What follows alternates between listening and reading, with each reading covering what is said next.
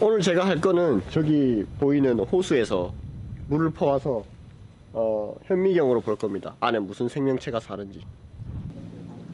이제 물을 퍼러 갑니다.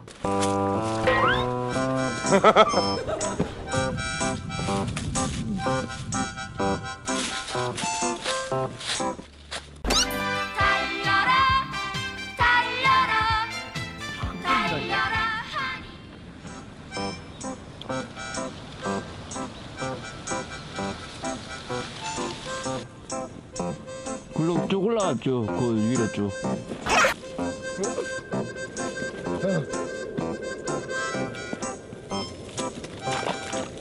오.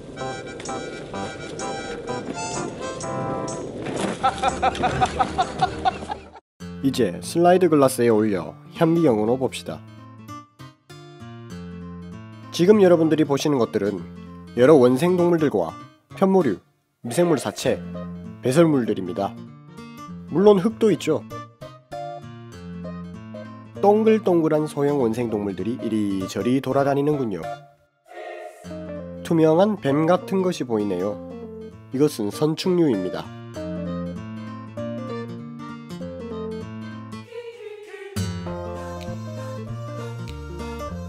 이것은 우리가 자주 듣던 동물 플랑크톤의 한 종류입니다.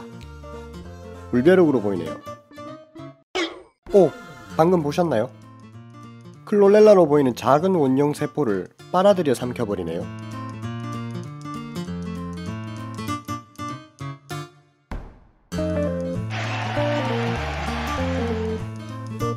오 예! 이 동물 플랑크톤을 확대해서 자세히 봅시다. 호흡 때문인지 소화 때문인지 많이 꿈틀거리네요. 저기 주황색 점 하나가 마치 눈처럼 보입니다.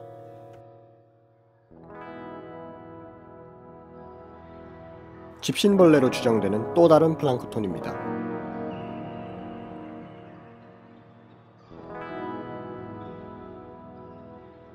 저수지 속 미생물들이 움직이는 모습, 미생물들이 미생물을 먹는 모습을 보니 또 다른 세계를 보는 듯하군요. 또 어떤 것을 현미경으로 보면 재밌을까요?